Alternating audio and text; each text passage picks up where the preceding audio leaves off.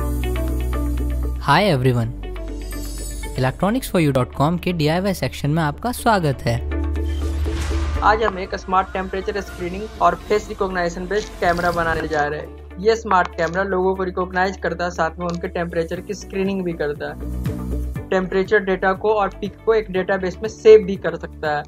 इस तरह के डिवाइस को हम कई जगह इस्तेमाल कर सकते हैं, जैसे कि एयरपोर्ट पे शॉपिंग कॉम्प्लेक्स में, और मॉल में। टेम्परेचर स्क्रीनिंग के लिए, हम इस प्रोडक्ट से कई नई बातें सीख जाएँगे। जैसे कि ओपन सीवी क्या होता है रेसबेरी पाई क्या होता है, हम एक टेम्परेचर स्क्रीनिंग सिस्टम और एक कैमरा कैसे बना सकते हैं। तो चलिए हम इस प्रोडक्ट के मेन कंपोनेंट के ऊपर नज़र डालते हैं। हमें चाहिए एक raspberry pi H D M I display M L X nine zero six one four sensor कुछ wire speaker raspberry pi camera चलिए अब इसे ट्राई करते हैं।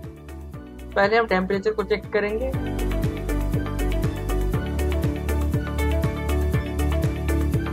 अब हम इसमें टेप डेटाबेस को चेक करेंगे।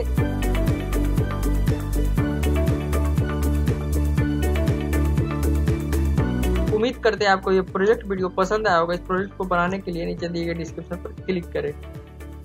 अब आप इलेक्ट्रॉनिक्स फॉर यू मैगजीन के सारे प्रोजेक्ट्स हमारी वेबसाइट electronicsforyou.com पर देख सकते हैं। इससे आपको प्रोजेक्ट की वर्किंग का प्रूफ मिलता है और समझना भी आसान हो जाता है। ऐसे कई इंटरेस्टिंग प्रोजेक्ट्स के लिए keep visiting electronicsforyou.com. Thank you.